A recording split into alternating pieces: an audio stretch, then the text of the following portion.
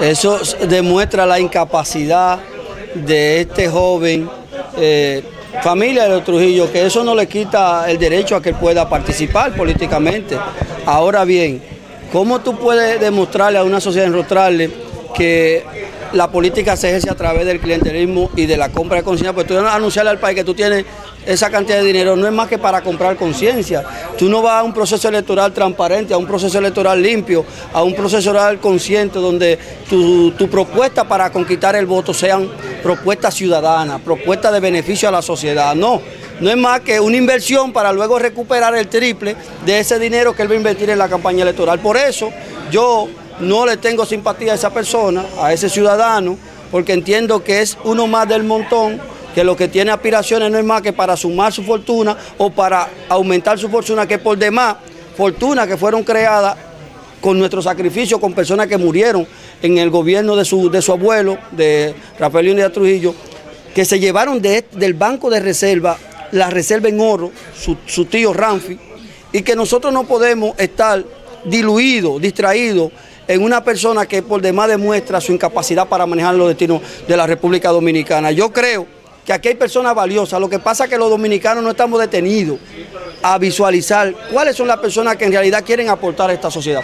Estamos concentrados en lo mismo y en las mismas personas que le han hecho mucho daño a esta sociedad y que han llevado a la República Dominicana a creer que la única oportunidad para llegar a ser exitoso es teniendo recursos y recursos mal habidos a través de la política.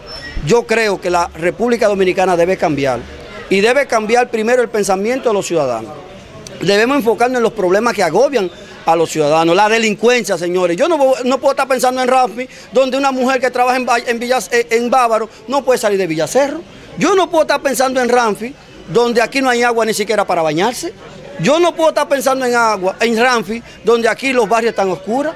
Yo no puedo estar pensando en, en Ramfi, donde la corrupción se roba el dinero de la salud, el dinero de la oportunidad de los jóvenes. Yo creo que Ramfi no es más que una distracción para envolvernos en esa telaraña de la confusión de los problemas y nosotros entonces olvidarnos de los problemas que agobian a la sociedad dominicana. Nosotros mismos los periodistas tenemos que estar claros que estamos inmensos en la peligrosidad de, esta, de este trabajo, que es peligroso por demás que nuestra vida siempre corre peligro y nosotros no podemos estar también llevándonos de un sonido rancio, raro de que rampi, donde nosotros tenemos problemas también como comunicadores porque nuestra vida siempre está en peligro. Yo creo que lo que nosotros debemos hacer es concentrarnos en los problemas que agobian a nuestra gente y no concentrarnos en una persona que lo único que persigue es aumentar su fortuna cuando dice que tiene cantidad de dinero para eh, aspirar políticamente. ¿Cuál es su opinión sobre el caso de Choli? Mira, en el día de ayer yo no estaba en la ciudad. Yo me llamó el coronel, el coronel entiende que yo podía mediar en esa situación. Yo vía telefónica hablé con León Torres, le dije que qué podíamos hacer para eh, que él saliera de la basílica. Él me dijo a mí, León Torres, de que la única solución era que si una comisión se comprometía públicamente a ir ante el Procurador General de la República, él se desencadenaba. Ese fue el ofrecimiento que me hizo. Yo le comuniqué al coronel, me hubiese gustado estar presente, pero lo tuve que hacer vía comunicación.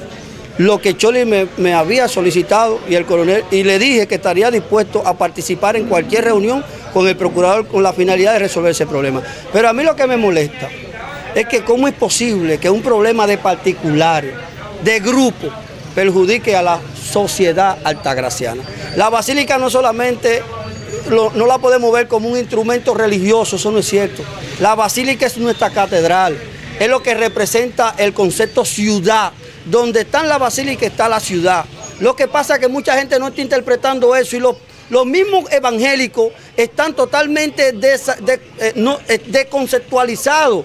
No manejan el concepto basílica catedral y piensan que la ven como una estatua a la Virgen, como una cosa de, de credo. No, tenemos que verla como un concepto de ciudad y hay que proteger nuestra basílica, por lo que nosotros le pedimos a Choli que reflexione antes que ese problema lo que hay que resolverlo en la justicia y estamos dispuestos a ir ante el procurador, de hecho lo acabamos de visitar, está, está en salud. Entonces usted piensa que estuvo bien que él se encadenara. Es que en el mundo se han hecho este tipo de protestas. No es la primera vez que en iglesia, señores, en, los gobiernos dictatoriales, la gente se, se alojaba en la iglesia, porque las iglesias son embajadas.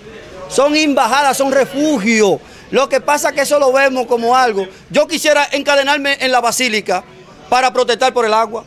Yo quisiera amarrarme, colgarme en la basílica para protestar sobre la inseguridad ciudadana. Yo quisiera colgarme en la basílica para protestar sobre el tema de los barrios, que intervengan los barrios, que intervengan los barrios la luz.